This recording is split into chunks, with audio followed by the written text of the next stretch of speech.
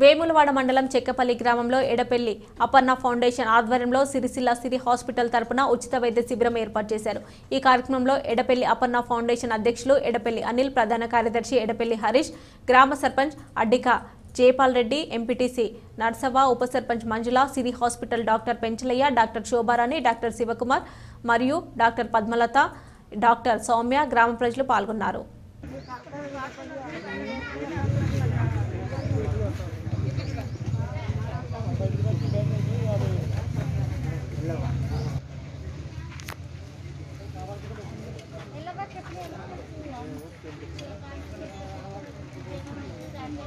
ఎన్ని రోజులు అయింది వేసుకొని ఆ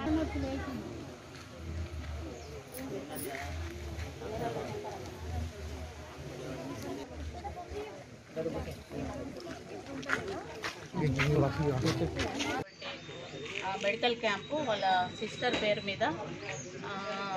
మేము ఈ సిరి హా- సిరి హాస్పిటల్ సిరి ఎన్జిఓ తరపున మేము మెడికల్ క్యాంపు కండక్ట్ చేద్దామనేసి మేము డాక్టర్ శోభారాణి మా team doctor Soumya doctor Sivakumar గారు వచ్చాము. రిక్వెస్ట్ చేశారు Siri trust Siri trust Siri NGO. So ఈ యొక్క హెల్త్ క్యాంప్ని అందరూ సద్వినియోగం చేసుకోవాలి అనేసి ఈ అపర్ణ అనే పాప చెప్తున్నారు.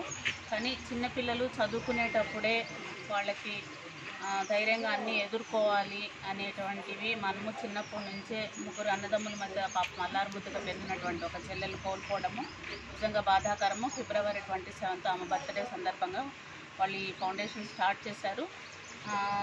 కానీ ఇలాంటి విలేజెస్లో కూడా ఇంత కఠినంగా పిల్లలు లేరు అంటే ఇంకా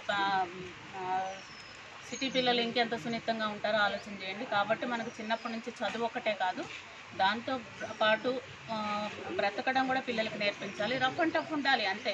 ఇప్పుడు చూడండి ఈ సెల్ ఫోన్లు రావడం వల్ల లోపల లోపల వాళ్ళు వీడియోస్ చూసుకుంటూ బాగా టైం వేస్ట్ చేసుకుంటూ పిల్లలు ఇలా తయారవుతున్నారు ఈ పబ్జీ గేమ్స్ ఆడుకుంటూ. అదే బయటకు వచ్చి పది మంది తోటి పిల్లలతో ఆడితే ఆ బ్రెయిన్ డెవలప్మెంట్ అవన్నీ కూడా డిఫరెంట్గా ఉంటాయి.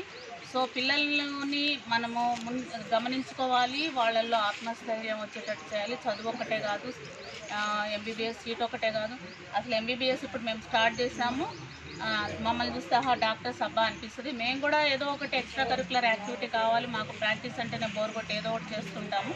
సో అన్నిట్లో ఉండాలి. అన్ని అన్ని అన్ని ఆత్మస్థైర్యంతో ఎదుర్కోవాలి పిల్లలు.